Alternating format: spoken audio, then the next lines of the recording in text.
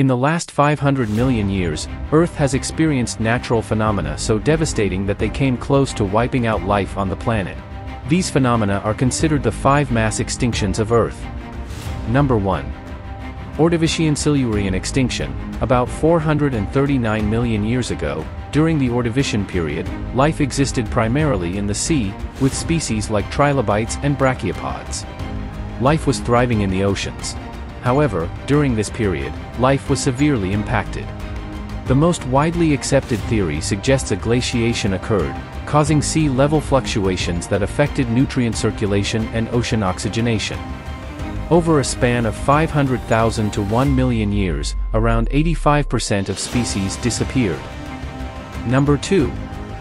Devonian Carboniferous extinction. After the first extinction event, life rebounded and spread across the land. However, around 367 million years ago, the second mass extinction occurred, primarily affecting marine life. The most accepted theory for this extinction is global cooling.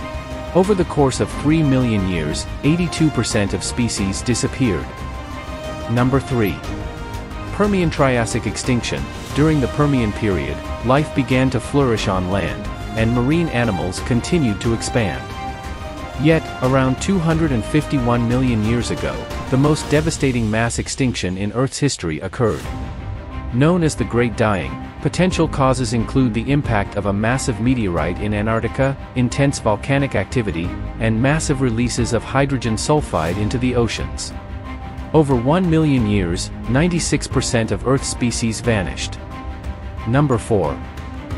Triassic-Jurassic extinction, life recovered again, giving rise to new animal species, including mammals and dinosaurs, during the Triassic period. Around 200 million years ago, the supercontinent Pangaea began to break apart, and volcanic activity contributed to the fourth mass extinction. Over 1 million years, 76% of species disappeared. Number 5. Cretaceous-Paleogene extinction. After the fourth extinction, life flourished, giving rise to giant dinosaurs that dominated the planet. However, all things come to an end.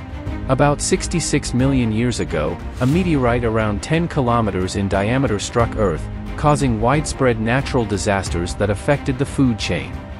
The fifth mass extinction led to the extinction of 75% of species. These five mass extinctions show how fragile living beings can be.